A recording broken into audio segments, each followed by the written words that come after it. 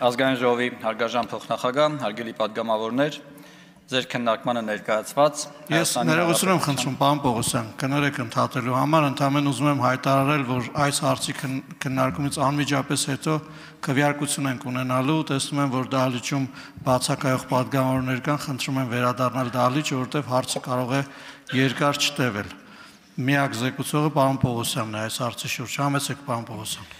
Հարգելի падգամավորներ, ձեր քննարկմանը ներկայացված Հայաստանի Հանրապետության հարկային օրենսգրքում փոփոխություն եւ լրացում նախատեսող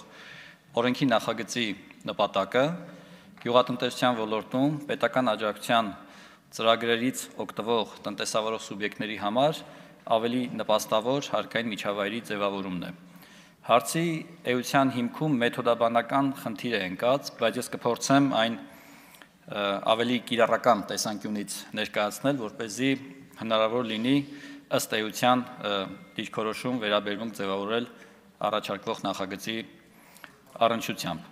Խնդիրն այն է, որ գործող հարկային օրենսգրքի կանոնների համաձայն, երբ դրամական միջոցների տեսքով անհատույց գումարներ են ստացվում, ու ստացողն էլ համարվում է շահութարկ վճարող կազմակերպություն կամ անհատ ձեռնարկատեր, պարտավոր է այդ գումարը ստացման տարվա ընթացքում ամբողջովին եկամուտ ճանաչել շահութարկով հարկման նպատակով։ Իսկ եթե եկամուտի կողքը չկան համարժեք ծախսեր, ստացվում է, որ այդ եկամուտը այդ չափով վեր է ածվում շահույթի, որը արդեն ենթակա է 18% դրույքաչափով հարկման։ Ասել է թե պետական աջակցության այս գումարները ստացողները գործող օրենսդրության պայմաններում, այլ հավասար պայմաններում նաև հարկային հետևանքների կրողներ են, որովհետև եթե օրինակ ինտենսիվ այգի հիմնման ծրագիր է իրականացրել որևէ տնտեսավարող սուբյեկտ, ժամանակի ընթացքում որոշակի գումարներ է ծախսել եւ այնուհետ հայտ է ներկայացրել պետությունից որոշակի համաֆինանսավորման գումար ստանալու, այդ ստացման տարվա ընթացքում այդ գումարը ենթակա է շահութարկով հարկման։ Սա նշանակում է, որ պետական աջակցությունը այդ մասով վերջնական նպատակին պակաս է ծառայում։ Ի տարբերություն սրա, եթե գումարները նախապես տրվեին,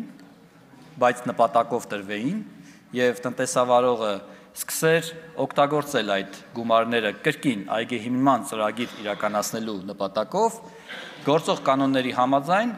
ստացված գումարը եկամուտ կհամարվեր ոչ թե անմիջապես ստացման տարվա ընթացքում, այլ այդ ակտիվների ծախսագրմանը կամ կորուստ ճանաչմանը զուգահեռ։ Ասել է թե որևէ հարկային հետևանք չեր ունենա։ Հիմա բնականաբար կարգապահության տեսակետից այլ հավասար պայմաններում նախընտրելի է, որ տնտեսավարող սուբյեկտը կատարի այգեհիմնման օրինակով եթե ներկայացնելու լինեմ ծախսերը, փաստաթղթավորի, այնուհետ հայտ ներկայացնի եւ պետությունից ստանա համաֆինանսավորման գումարը։ Եվ ահա այս նախագծով մենք առաջարկում ենք այդ վերջում ստացվող գումարները կրկին չհարկել շահութահարկով, որ เป զի պետական աջակցության գործիքակազմի շրջանակներում տրամադրված գումարները մինչև վերջին դրամը ծախսեն ծախսվեն հասցեավորված եւ նպատակին։ Սա է ըստ էության նախագծի կարգավորման առարկան, եթե կլինեն